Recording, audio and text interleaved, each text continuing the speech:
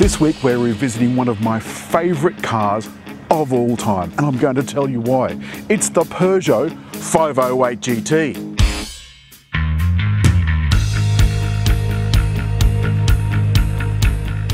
Now, I once described the front of this car as having lights like a jewel box, and they do look like little jewels.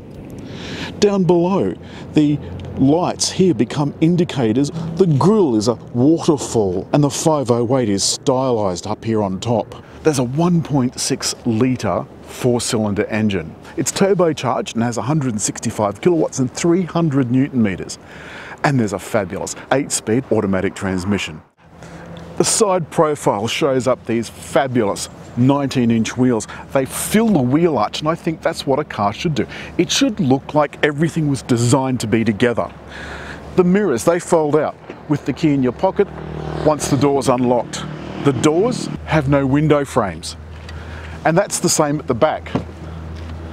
So when this window is down, this little bit just sticks up by itself. The rear window has this little bit of carbon fibre effect. And around the back, this looks pretty evil. With the ignition off like it is now, it's all black. But you can see there's a complex arrangement of lights. And as long as the key's in your pocket, you can swipe the boot and it opens. Now it may look like a sedan, but it's in fact a fastback, so a hatchback car. Inside, there is a ton of space. There's a couple of speakers, obviously, and a 12 volt outlet and underneath the rear floor, a space saver spare. And the seats go down 60-40 and there's a ski hatch in the middle. One of the interesting quirks on this car, the hard parcel shelf that's physically attached here under the hatch. And it's attached by these little knobby things. So when you put them back in, ah, with some difficulty, this is not going well. I'm gonna, no. I'm just, there we go. Well, that was an effort. You can control the automatic foot operated bit here, as well as closing it here. And from the outside, if you don't have a key in your pocket, there's an open button just under this black trim, plus a lock button so that you can close it and lock it from here without having to schlep around to the side. Getting into the back seat is a bit of an effort, I'm not gonna lie. The roof is really low. So you do have to go down considerably, making sure you get your head in.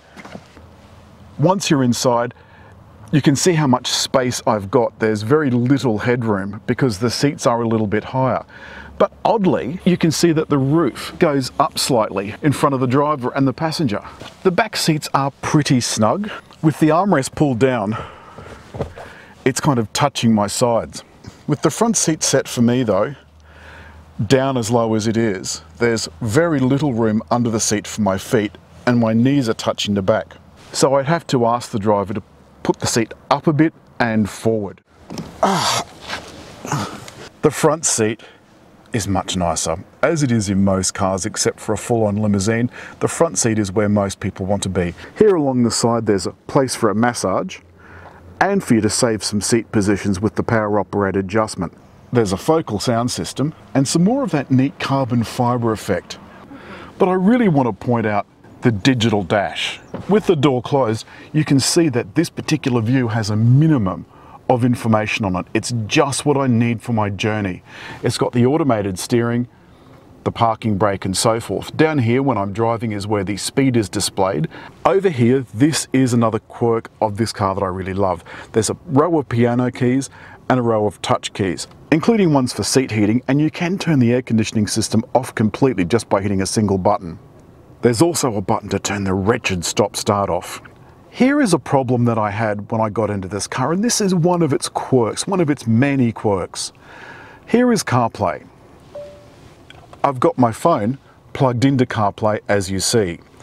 The funny thing is that there's two USBs concealed here under the main console. Now you've got to get down on your knees to actually get underneath. You can't easily plug stuff in here. And when I first got in the car, this is the only USB that I saw. That one, interestingly, will stream your music through the USB connection. The other one streams your music through CarPlay. I mean, why not just put them through one like every other manufacturer in the world does? Whenever I've had trouble connecting CarPlay in the past, it's always been because I've got the wrong bloody USB plugged in. The rest of the console is absolutely delicious.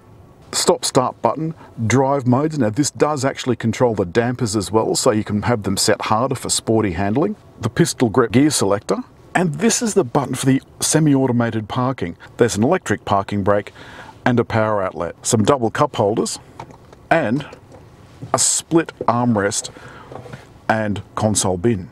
But it's the seating in this car that I really want you to pay attention to. It is this kind of quilted leather in a hexagonal pattern. And as a cue to final comfort, this section of the cushion will come forward with a little handle just underneath. You have to be careful when you start this. You've got to make sure you press and hold the start button or it does nothing. Vision is pretty good considering how fairly limited the view is through the windows because they're quite small. And now that we're in nano mode, I think I'm going to put it into comfort. It makes the steering all nice and light. And remember, this car's in the mid 60s-ish on the road. That's a lot of enchiladas. That 1.6 really does do its job extremely well. The 0 to 100 time is about 8.5 seconds, so it's by no means a rocket, but nor is it a slouch. And to be honest with you, I would be very happy, very happy to take this on a very long trip. While I've got some time free, I'm going to choose stretch and I'm getting a little cat's paw massage on my back and bum. Now imagine doing that on a long trip. I'm just going to go back and stretch back. It would be remiss of me not to point out the i-Cockpit. And the i-Cockpit is this entire setup. A tiny steering wheel with a flat bottom and a virtually flat top over which you look at the instruments instead of looking at your instruments through the steering wheel. I've gotten used to it. I don't love it, but I am used to it.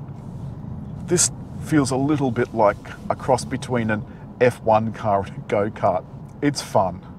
This is a fairly noisy bit of concrete freeway. And so I'm set up now basically as I would be if I was doing a little road trip.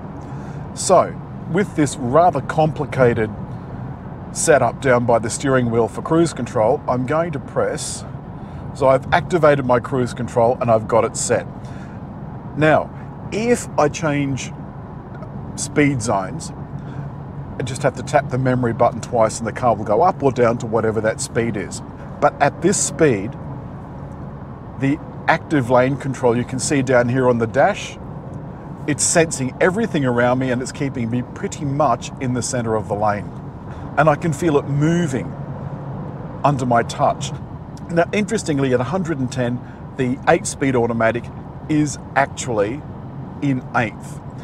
It doesn't use any of those top gears until you're actually doing 100 um, kilometers an hour or more. I'm so much set up for my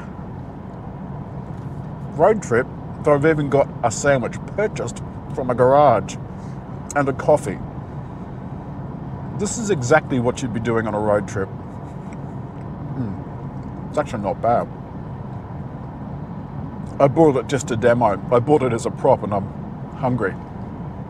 Oh, very nice. Now the cabin is re reasonably quiet at 100. Pardon me, at 110.